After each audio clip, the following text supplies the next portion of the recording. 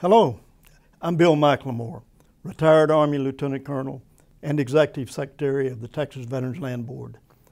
On this Memorial Day, we'd like to take a moment to honor all the servicemen and women who gave their lives in defense of our freedoms and our nation's security.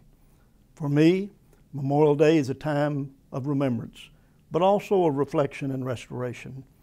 Remembering those who sacrificed so much attempted to honor their sacrifice by reflecting on my own failures during the past year.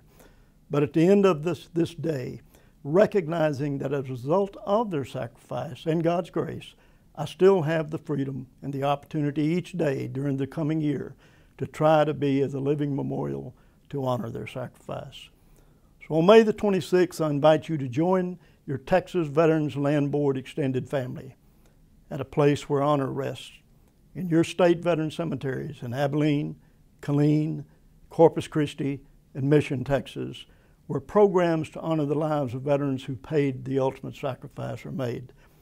But whatever your plans are this Memorial Day, please, please take the time to remember the sacrifices made by so many in their service to our great nation.